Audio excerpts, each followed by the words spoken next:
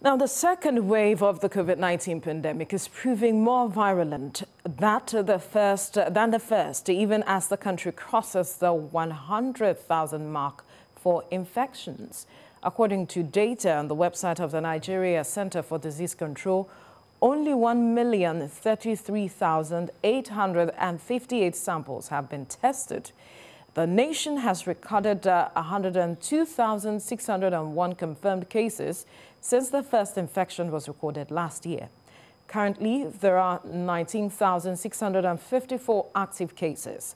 The federal government says the Nigeria's uh, COVID-19 situation is at a very critical point as the various health facilities in the country can no longer cope with increasing cases of the deadly disease. Joining me now is the CEO, Health Emergency Initiative, Pascal Achunine. Good morning. Good morning. Thank you for joining us on TVC Breakfast. Thank you for having me. Now, we have just uh, collected samples of about one, over 1 million, according to the reports uh, by the NCDC. And we are already saying that uh, with the way the cases are rising, uh, that uh, we may not, we may run out of uh, the capacity health-wise, uh, that's in talking about uh, the health hospitals and every form of facility to handle the rising number of cases. And we have just tested over a million. How grim a picture is this? Yeah, it's apprehensive. Um, it's scary. Mm. And uh, it, for those who know uh, that um, so many are anxious and scared uh, because um, systemic preparation seems to be weak. And then okay. there's also disinformation and knowledge gap. Over 60% of the population do not connect with the second wave. And uh, the second wave, beyond whatever, however it is expressed in technical terms, it means that the coronavirus that we had some times ago has come back in a very ferocious form uh, is so dangerous that you see some persons who may be asymptomatic and by the time it, they, it hits them very hard, in less than two days, they die. Mm. Now, what have we done as a country to deal with this? Because leadership requires that you must confront an enemy like coronavirus. Absolutely. And that is where I'd like for you to, you know, expatiate on. You yes. said systemic preparation is weak. Yes. Where did we get it wrong? And when you say systemic preparation, how do you mean? Just paint us a picture. So yeah. let's start from the number of uh, persons tested. Um, it's a little above 1 million, mm. population of 200 million. Over 200. Of over 200 million. And um, uh, this is about uh, 10 months this virus came here. So one of the key areas I figure out that government ought to have done much more is, besides the PCR tests, there could have been deployment of uh, rapid tests across nooks and crannies. Because uh, even as I speak to you, it's possible that you may struggle to, in case you want to go and test, where will you go and conduct a test? So the, what we have tested is abysmally low compared to what this, the country has capacity to do. And I see that there isn't enough coordination. If you check the National Youth Service, they conducted two orientation camps recently feelers I got was that they deployed the rapid test uh, from, uh, uh, mechanism, yeah. and most of the people who tested positive, a few of them that tested positive, they went for the PCR test. It's valid, it was validated. So that process, that needs to be activated so that people who may not have funding to go to private labs where they pay 50,000 or more, or people who do not know how to accelerate the access to some of the government testing locations, they can have access to testing. And mm. that reduces the chances of death. Because sometimes the persons who call me and report that I lost this person, I lost this person, sometimes I'm wondering whether the number we had there is a reflection of it. Yeah. Secondly, we had isolation centers and they were taken down uh, when we felt that the number has reduced. like yesterday, we ought to have restored all those structures, including the surveillance, unit, uh, surveillance team that was constituted, that was conducting tracing. So these things are not in place. And most importantly is communication. People still, when over 60% of the population still feel that is a, still are indifferent, let me not even say that it's a scam. from what some people say, but they are indifferent to this. And that can be, you can see it reflecting in our markets, in our parks, on the streets. People, most 90% of the places you go, you see people not wearing nose masks. You see people not observing the protocols.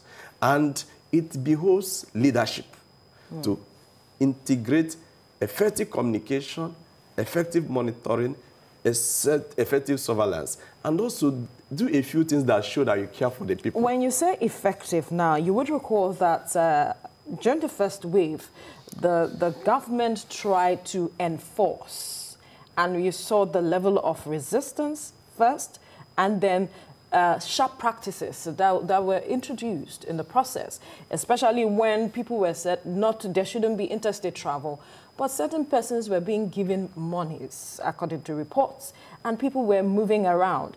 And we also had the issues with, okay, ensuring that, okay, you observe, stay at home, and it was difficult. And then we began to see people move around, and then we had the security issues. If we are saying effectiveness, if we want to get that effectiveness, how should government go about it such that people will, you know, work hand in hand with the government and we can achieve the results that I, we're I'm glad for. you use hand in hand because um, governance is not done in isolation of those who are in political offices or those who are in civil service or public office. It is, uh, a, it is built around consensus collaboration. You must identify that you need a private sector, and private sector collaboration goes beyond CACOVID or some other partners donating money. Some are doing it to be politically correct. Right. It must be, and you also work, I've mentioned private sector, but social sector, because there were many sec social sector players that were involved in the uh, various interventions during the first wave. Mm. And their programs trickle down to the people. So if government uh, goes it alone if it's a solo engagement because this in, in, involves the lives of people. Because we are not seeing much of that in the second wave yeah, so, as we speak. Yeah, so the, the private sector, the public, social sector and government must work together and government must take the lead. Government must identify who we are the key partners who supported various, there are many ways, channels of getting that information and they can buttress, they can amplify what the government have been saying so that people can listen and feel that, oh, there is a common enemy. Because the truth about COVID-19 is not malaria, it's not like non-communicable diseases. This one, you, you will see someone looking hella hearty. In 14, in five days, the person is no more. So we need to work with the government, but the government must take the lead. Is the government not taking the lead as we speak? Uh, there's, uh, there's a lot to be done in the area of coordination. There's a lot to be done in the area of consistency because you see a government, there are certain things that give people some uh, doubt about it, like the registration, NIN registration. People feel that if the government is very uh, uh, genuine about this, this is not the best time to continue with this program. Why not shelve it until this whole thing blows over? Or perhaps makes the process seamless, where Sim people can do it from their, the comfort of their home. For those who have capacity. But because even if we declare that uh, you, as a government, that you can, you, everybody must do this, even without COVID-19, mm. can, we can ramp up in the next three months. Why not shelve that? Well, that's one of the ways that shows that government listens. That's one of the ways that shows people say, oh, they, they listen to this complaint and they acted positively. Then there are also some incentives and you provide because many businesses have collapsed between the last uh, wave and now. So, so government must demonstrate a lot more sincerity in the way it cares for its citizens. People will start believing and people will get more involved. And again, you won't be talking about complying with the protocols when there is no pour-borne water. There is no genuine measures taken to sink boreholes. We are talking about schools right. resuming. When the schools resume, especially public schools, even the universities, how many of them have functional water? How many of the hostels are structured in such a way that they can take, uh, 30 years ago when I was in the university, we were eight in one room, a small apartment. Some sleep on the floor, so two of us uh, sleep in three, bed, uh, um, three and a half bed mm. um, three, three and a half inches bed. So has it improved thereafter? It has gotten worse. So even when we are contemplating opening schools, I will consider all these vari variables. So there must be demonstration of sincerity, commitment, and engagement. That, and when one official of the government speaks concerning this, there must be coordination that somebody does not, another official of the government says something that does not contradict that. So it's very critical.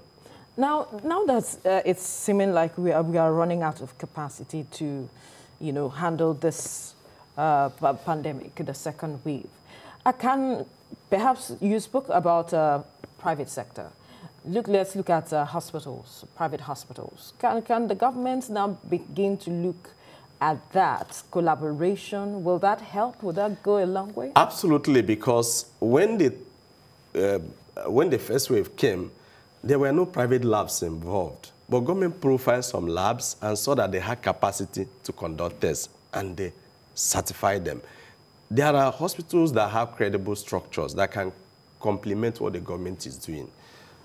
Because um, the picture in, uh, I, we saw a documentary that uh, your organization yes. ran, ran, recently at uh, the uh, uh, Infectious Disease Center, and we could see that there isn't even enough space to accommodate we don't have enough oxygen. Enough oxygen. Mm. So we are getting to that stage. We've already we are already in that stage. Only that it was the, the comment was being conservative from the side of the government. So this is the best time to in, identify more private hospitals, give them guidelines. There are uh, thresholds you must maintain in terms of quality assurance. And then integrate a man E. You must monitor to ensure that nobody is moving away from pre prescribed guidelines. But it's very critical that uh, we don't get, this, get to a stage where we are seeing dead bodies on the streets. Hmm. Uh, because again, you talked about what is the outlook.